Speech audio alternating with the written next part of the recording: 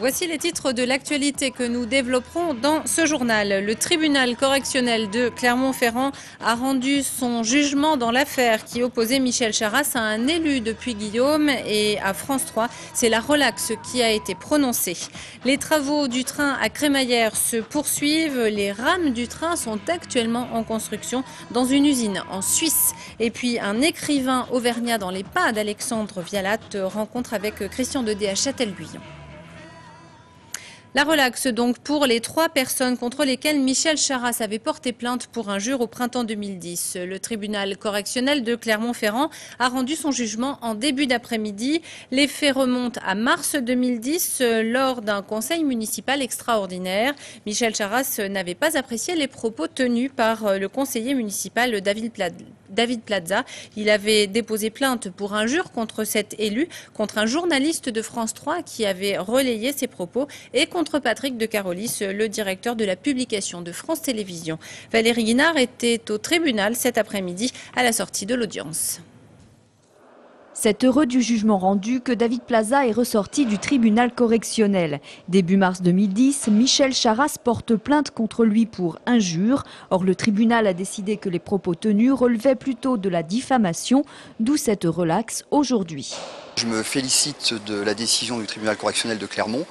Et je crois qu'au-delà de ma relaxe, finalement, euh, ce jugement manifeste euh, une condamnation, la condamnation de toutes celles et tous ceux qui euh, finalement bafoue euh, les libertés fondamentales, instrumentalise la justice et euh, au-delà de tout ça, euh, finalement préfère se servir de la République plutôt que, plutôt que de la servir. Pour les deux autres personnes accusées, le journaliste de France 3 et Patrick de Carolis, qui ont relayé les propos de David Plaza dans une interview lors de ce conseil municipal, le tribunal a également prononcé la relaxe. Là encore, il a jugé qu'il ne s'agissait pas de propos injurieux, mais plutôt diffamatoires. Et là, la loi sur la liberté de la presse empêche la requalification des termes de la plainte par le tribunal. Il euh, pense vouloir faire appel pour faire trancher ce point par la cour, ce point de droit, hein, parce que c'est exclusivement un point de droit maintenant, puisque euh, par la cour d'appel de Rion. Michel Charras a 10 jours pour faire appel.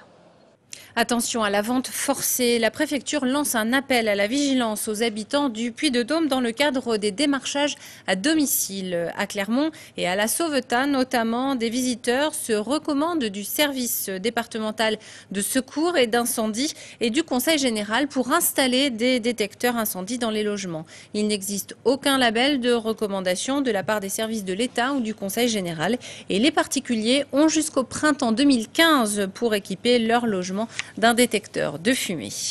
Dans l'actualité sociale, une quarantaine d'ouvriers et de fonctionnaires de la Défense étaient rassemblés ce matin devant la préfecture à Clermont-Ferrand. Parmi eux, des membres de l'AIA, du 92e RI et de la base de soutien du matériel.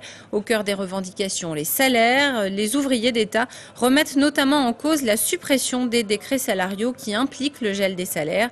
On écoute un représentant force ouvrière de l'AIA au micro de Catherine Lopez.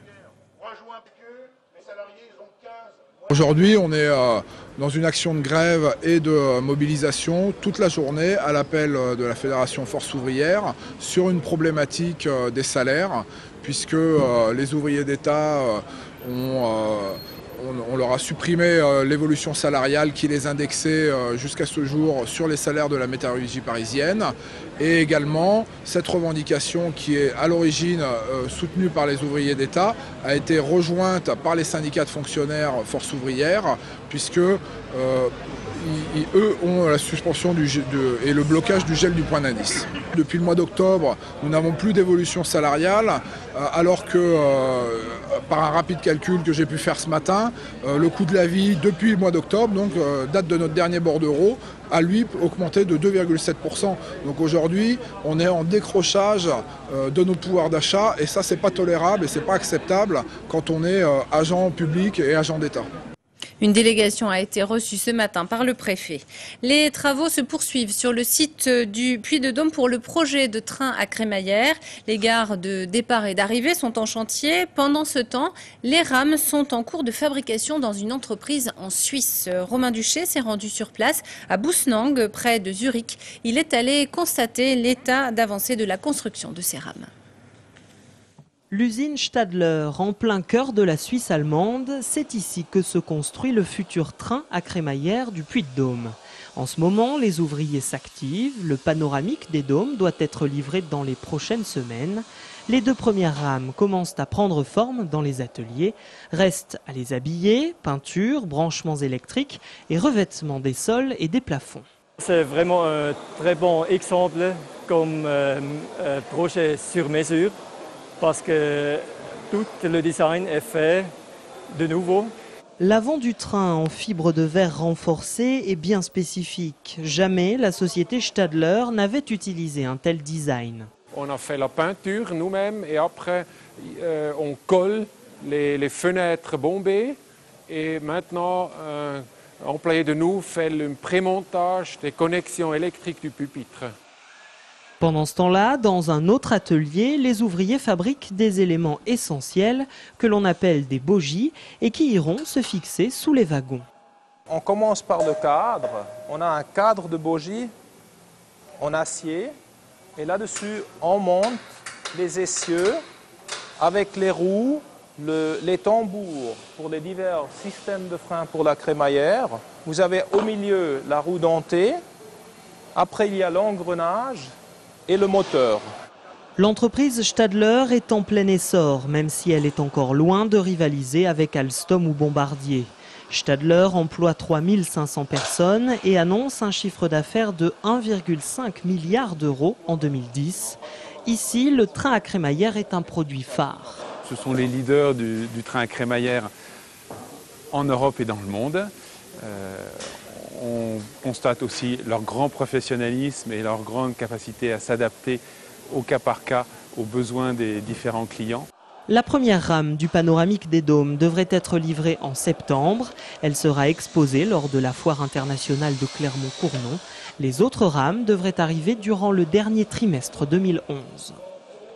Cette journée du 19 mai était consacrée au dépistage du cancer de la peau. Dans le Puy-de-Dôme, plusieurs centres ont accueilli le public pour des dépistages gratuits, dont l'Institut Pasteur à Clermont-Ferrand. Les médecins ont déploré une diminution du nombre des visiteurs par rapport à l'an dernier, rappelant que le nombre de cancers de la peau augmente, plus 5% cette année au niveau national.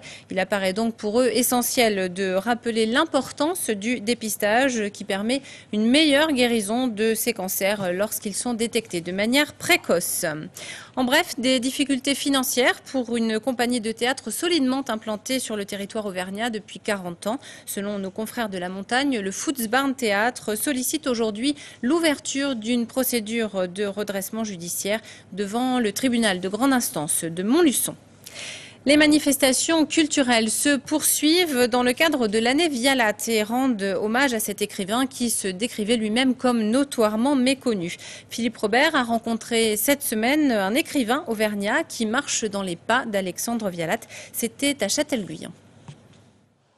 C'est à cette source que l'écrivain Alexandre Vialat est venu prendre les eaux pendant quatre ans. En cure à Châtel-Guyon pour des problèmes intestinaux, son médecin thermal de l'époque était Christian Dedé, lui aussi écrivain.